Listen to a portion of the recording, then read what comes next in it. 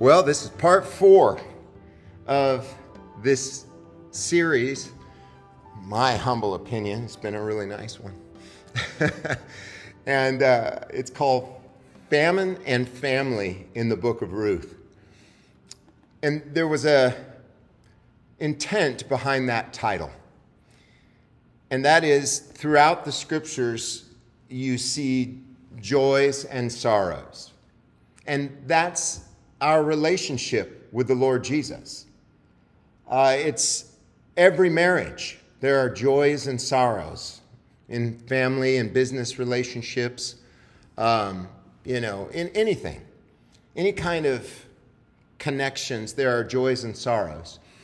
And sorrows often happen because we fix our eyes on something other than Jesus and we look to something other than Jesus for contentment. And one of the hardest verses in the Bible for me is where Paul said, and what, and Paul had it, he had it bad. And yet he's probably the most joyful guy I've ever seen in the Bible. And he said, I have learned to be content in whatever state I am. I have never said that once in my life. never once. But I do believe it's possible. I've experienced moments of contentment. And those moments of contentment are always, always predicated by gratitude, with gratitude. That is, when we are truly thankful, we're content. When we are bitter, Linda and I were talking about it, we're discontent. When we are fearful, we're discontent. Fear accompanies adverse circumstances oftentimes. And the adverse circumstance of Ruth, well, we, have seen some of it, uh, but certainly with Naomi and Elimelech, is that there was a famine that drove them down to Moab, where their two sons, Elimelech and Naomi's two sons, would meet these women, Ruth and Orpah. So it ended up, we're going to see something so beautiful today that what we oftentimes mean for evil or what we interpret as bad or calamity or disaster or sorrow, God is always working it for good, for our good and His glory. Always. There's never a time where God has ill intent for you, his children. He's the perfect parent, amen? There is no greater parent. And his watchful eye is always over us. So we're reminding ourselves of the characters in this story. Elimelech, he's long gone. He died there in Moab. They went down there and he died. Uh, and, and Naomi is the mom. She's, she's the, the matriarch here, if you will. Mahlon, they had two kids, Mahlon and Chilion. And then they go down to Moab and meet Orpah and Ruth, the daughters in law. And in chapter 2, remember,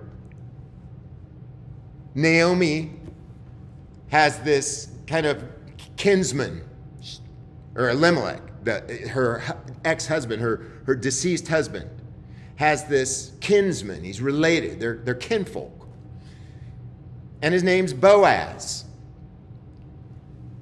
And Boaz has lots of land, you know, property, farming, and he has these reapers that take care of the land. And this Ruth lady is wanting to meet someone, and her mother in law, Naomi, is encouraging her. Yeah, it's a good way to do it. Farming, that's all they knew back then. Let's go meet someone out on the farm. And Boaz's reapers are normal dudes, crass, rude, shallow, given to exploiting women. And that's why he said, Don't mess with Ruth. Don't mess with her. And they obviously were not messing with the other women because Boaz, who were in the field working, because Boaz had instructed those reapers. Don't mess with Ruth. Don't mess with the other women. And he even said to Ruth, Go hang with these young women. Don't go off into any other fields. You'll be protected here. And he didn't have ulterior motives. He was a man of dignity. He was watching over her sincerely. And he had heard of her reputation, and he had heard of Naomi's reputation. It had spread. So the scenario was that she went husband shopping, right? Remember that. Boaz protects, reapers obey, and Ruth is completely honoring Boaz throughout all of this. She's thrilled that this man, whom scholars believe is about 40 years older, remember, we, they, most of them say he was about 80 and Ruth was about 40. She was just respecting this dignified, powerful man, called him a man of pro- prominence. And so we see this mutual honoring that is so beautiful. And what a what a story it tells us how we are to honor one another. And it is something we all must strive for continually. And, and, and it, it, it's usually something that should affect our lives because almost every single one of us will have that one person or two or 40 that, that we have not necessarily been honoring. I know that's true in my life.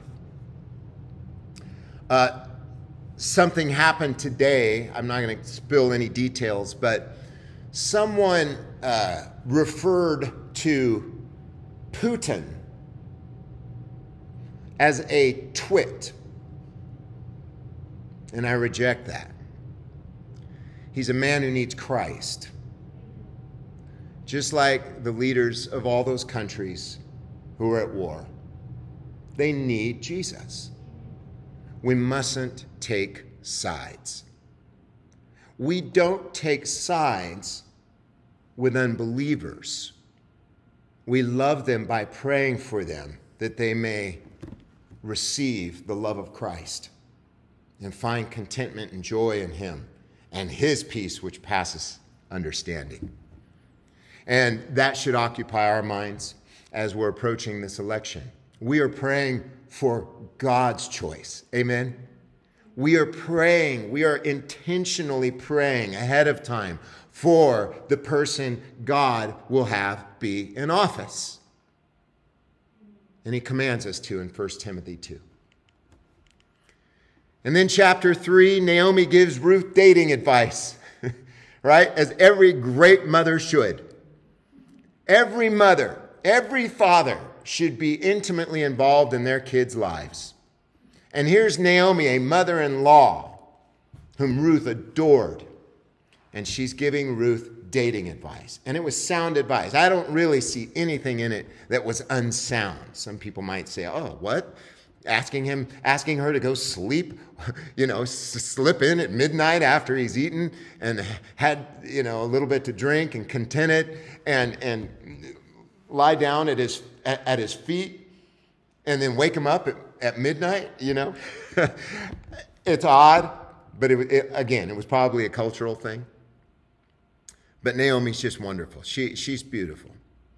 And Ruth meets Boaz at midnight, and Boaz goes, Whoa! That's in the Hebrew. No, it's not. Boaz continues to honor Ruth. Most men, if they were woken awakened by a beautiful woman at midnight would probably try to take advantage of that woman.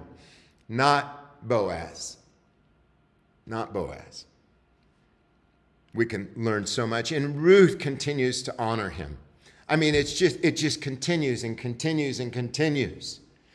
And honor of one another. Esteem, as Paul calls it, right? Let each of you esteem others as better than yourselves. When we esteem others, fruit, good fruit, is always born from that. when we serve others. That's why Jesus said, if you want to be great in God's kingdom, learn to be a servant of everyone. Dang, that's hard. Serving everyone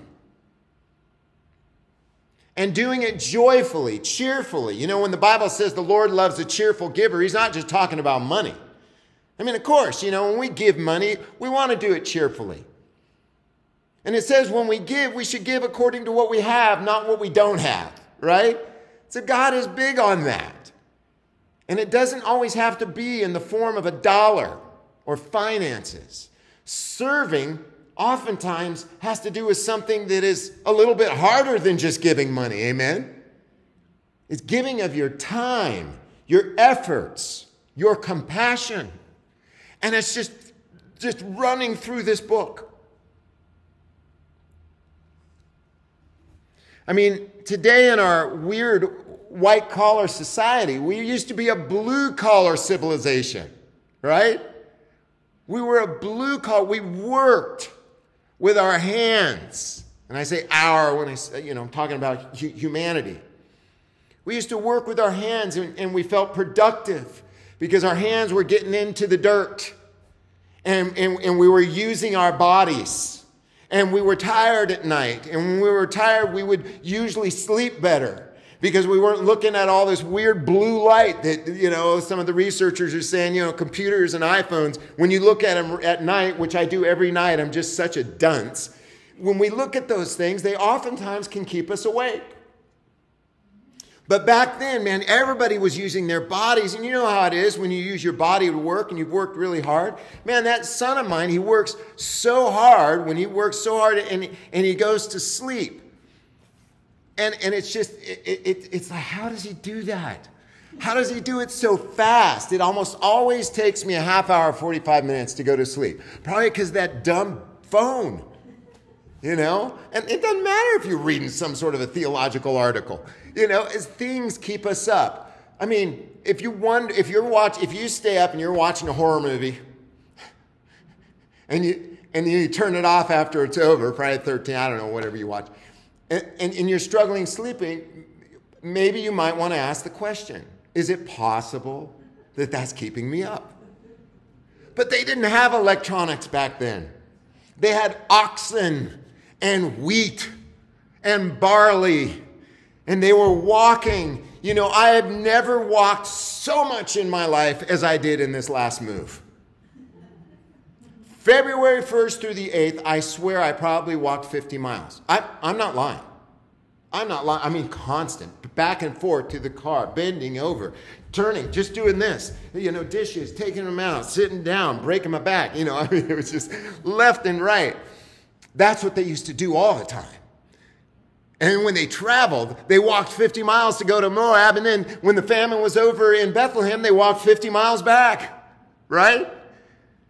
So you got to have a lot of respect for that lifestyle. And I'm not encouraging all of us to go Amish or anything like that. I, I don't know that I could function without electronics. I just don't. I mean, it's so in my brain. That's all I've known since 1994 is electronics. All my messages, all my studies, they've all, they're all with electronics. I research the church fathers. I, I, I research church history. I research Old Testament history, New Testament. It's all there. I don't need books anymore, praise the Lord, because I can get I can access everything online. I don't have to have. I got like 2500 books in Page, Arizona at my house stored away. And they used to fill up these bookshelves. Looks cool, but man, you think I'm going to pack those things up and move those wherever I go? Heck no, it's at my fingertips. It's different back then. They didn't have printers. They didn't even have the printing press at the time of Ruth. Holy cow, the printing press was going to take place 2,500 years later at the time of Luther. Anyway, I digress. Boaz, last, honors who?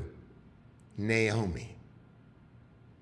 Every woman who is seeking a spouse, every man who is seeking a spouse, must honor the parents. You must. You have to. Even Jacob, he honored that lying, call him LL, lying Laban. right? I'll give you Rachel. After seven years, you work for me. Nope. He gave Jacob Leah, and she was cross eyed. That's what it says. Leah had weak eyes, remember that? It's kind of like when you do this, right? So he woke up, realized, oh my gosh, because there's the veil thing. He woke up, he's like, what in the world? Who are you looking at, me or over there? no, just kidding. But then he had to work. he had to work another seven years to get Leah or to get Rachel. So 14 years he honored lying Laban. We don't see that today, do we? We're sort of like a Bonnie and Clyde society. You know, you fall in love with this girl, you're 17, she's 16, parents don't see it working out, you know, and, and they're like, no, this is meant to be. And then they run away and they elope, and then they go to prison. Sorry, that's drastic. But then we got to the end of chapter 2, waiting on an answer from kin, not K E N. K I N, kinfolk. Okay? All right. Chapter 4, read the fine print. Read the fine print. What am I getting at here? Let's move through this. So we're wanting to find out. Remember in chapter 3,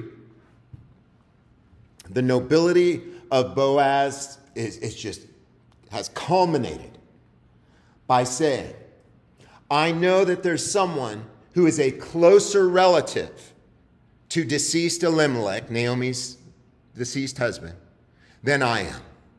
Even though he sees the beauty, sees the dignity, sees the refined quality of Ruth, he still says, I'm going to do what we're supposed to do from the scriptures, and that is, it's got to be the nearest of kin to raise up seed for the deceased man. And that was a hard thing to do back then. You say, what's so hard about that? You know, hey, seems like a little fun under the covers. Raise up seed for this person. No, no, no. You're actually taking on that person.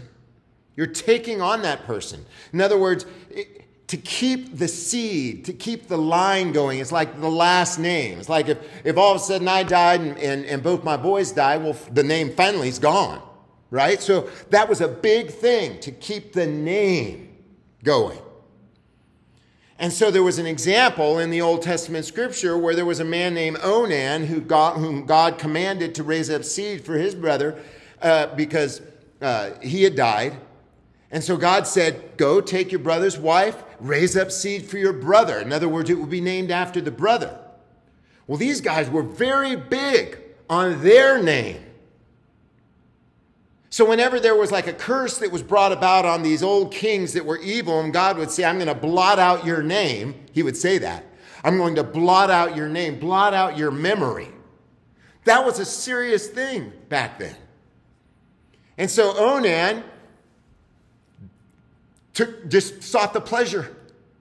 And he went into the woman, but he spilled his seed on the ground, disobeying God, and God slew him. That's what the Bible says because he disobeyed that command of God. Old Testament was strict. There was some harsh stuff. So here's this command. And Boaz says, Listen, I will do it, but only if the next of kin won't, because I want to follow the Lord. You see that? So he's going to ask this close kinfolk closer. He's closer. No sooner, Ruth 4 1 through 22, had Boaz gone up to the gate and sat down there than the next of kin, of whom Boaz had spoken, came passing by. So Boaz said, Come over, friend. Sit down here. So now here's where Boaz eh, gets a little subtle. It gets a little tricky. And he went over and sat down. This is where you have to read the fine print, closest kin. Then Boaz took 10 men of the elders of the city. He wanted witnesses, right? Because that was something that was taught in the Old Testament. In the mouth of two or three witnesses, let every word be established. And there were elders and judges that God would set up to, to have this, you know, keep things accountable, keep everything, you know, authentic. Not this behind the back, the gossip thing. That's why Jesus is like, you know, if you have something against your brother, go to your brother and if or sister, and if he or she won't hear you, then take a couple of witnesses. Jesus doesn't want gossip. He doesn't want hearsay. So Boaz grabs these 10 elders. This is an important thing. This is a lifelong decision. Now, don't think in your wildest dreams that Boaz is not concerned about Ruth. I think he digs her. I'm just going to be honest. I think he absolutely digs this woman, but he's more dignified about serving the Lord and honoring her and honoring Naomi than his own selfish ambition and desires. But keep in mind, he also is going to be a servant by taking on Ruth. You'll see right now. He took 10 men of the elders of the city and said, Sit down here. So they sat down. He then said to the next of kin, this closest relative of Elimelech, the deceased husband, Naomi, who has come back from the country of Moab, is selling the parcel of land that belonged to our kinsman Elimelech.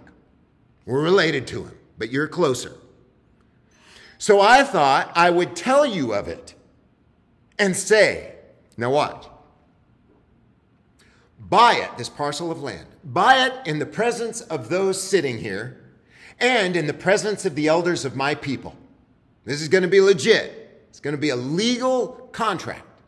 If you will redeem it, redeem it. But if you will not, tell me so that I may know. For there is no one prior to you to redeem it, and I come after you. In other words, you're the closest to Elimelech. I'm almost as close, but not as close as you. So he said, I will redeem it.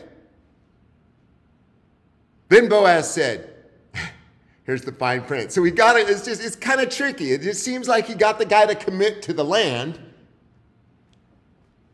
but not to what comes with the land. The day you acquire the field from the hand of Naomi, you are also acquiring Ruth, the Moabite.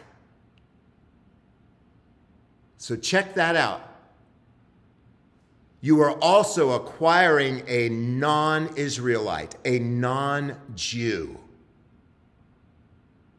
You're going to marry a non Jew. She's already joined herself to the Lord. She's no longer, she was a foreigner. And the Bible says, man, when that foreigner comes in to worship God, you take that foreigner in. You take him in. That was Old Testament. And so she followed Naomi and she said, I'm going to serve your God. I'm going to go and follow your people. Be your, I want to be a part of y'all. And I will die where you die. That's how committed. But this next of kin, he's like, ah, I don't do Jew, uh, uh, non-Jews. I'll do the land. I ain't going to do a Moabite. And I think that that may have been what was going on in his mind.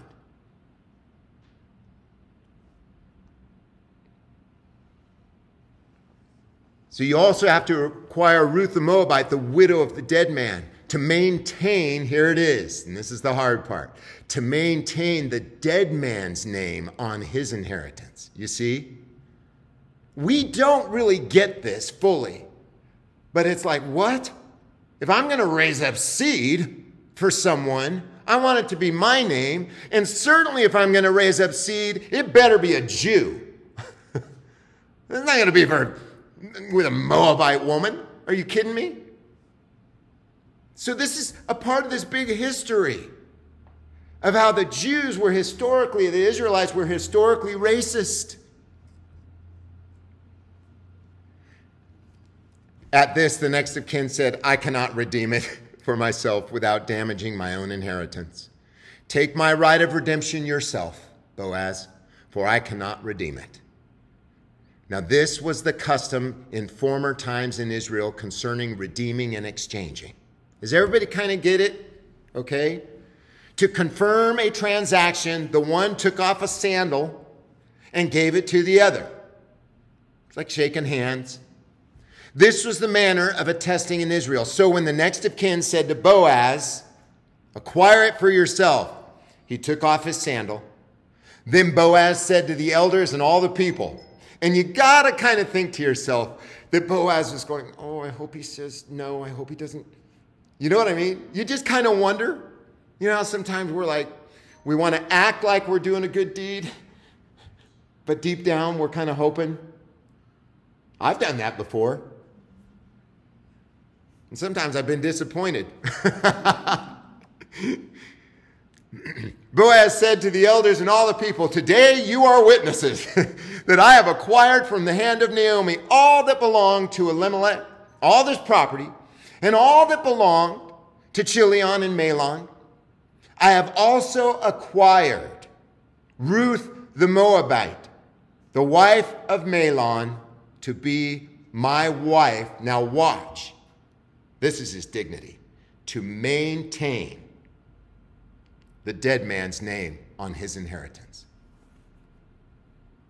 That is servanthood right there. If you, if you really could grasp that culture and just think about how important carrying on your own name was and what an act of service it would be to actually go into a woman, inseminate her, and carry on someone else's name.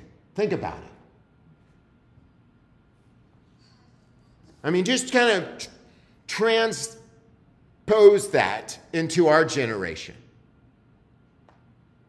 What that would be like.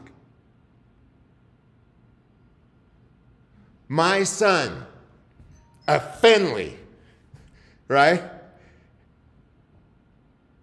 is going to carry on the name of this clown, and, and, and it's going to be with this non Jew. Are you feeling the, the tension there? Try and feel that for a second. I couldn't imagine that. I mean, I, am trying to just be honest with you all. I, I couldn't imagine having Austin be like a Jones or something. There's my son, Austin Jones. It might create even a little bit of division. I don't know in order that the name of the dead may not be cut off from his kindred and from the gate of his native place. Today you are witnesses. Then all the people who were at the gate, along with the elders, said, We are witnesses.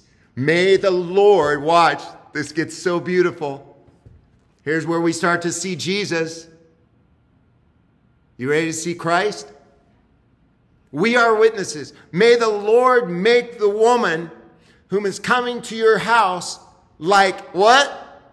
Rachel and Leah, who together built up the house of Israel. Now, here it is. Remember the first verse that, that Linda read? Out of you, Bethlehem Ephrathah, shall come forth he who is to be governor of Israel, whose goings are from of old. This isn't random.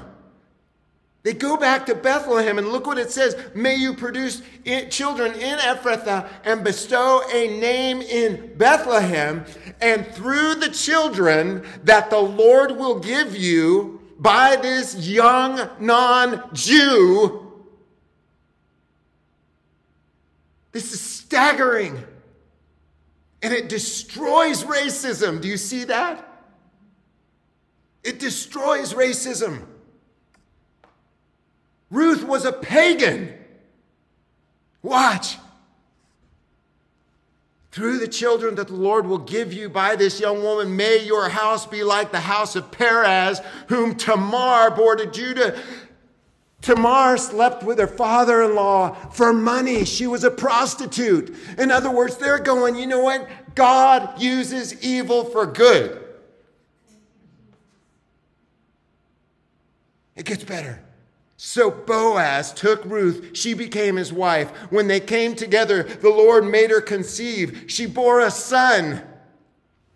Then the women said to Naomi, Blessed be the Lord who has not left you this day without next of kin, and may his name be renowned in Israel. He shall be to you a restorer of life. Do you see the type of Christ? And a nourisher of your old age. For your daughter in law, who loves you, is more to you than seven sons, has borne him. Then Naomi took the child and laid him in her bosom and became his nurse.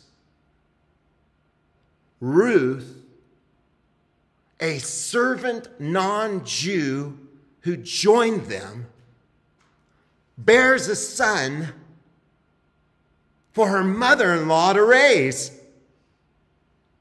Do you see that? Do you see the love that's going on here? The women of the neighborhood gave him a name, saying, A son has been born to Naomi. They named him Obed. He became the father of Jesse, the father of David. You get it? Ruth, a non Jew, gives birth to a son who would be the grandfather of David, but it, the son is raised by Naomi. And from that line, Judah would be born Jesus in Bethlehem. Man, I, I've read Ruth, I don't know how many times, but it just is so profound how the whole Bible is about Jesus. It's all about Jesus. This isn't by accident. Jesus comes from this line that involved a prostitute and a pagan. Isn't that beautiful? He comes from an, a line that involves all of us prostitutes, pagans, idolaters, murderers, rapists, gossips, thieves.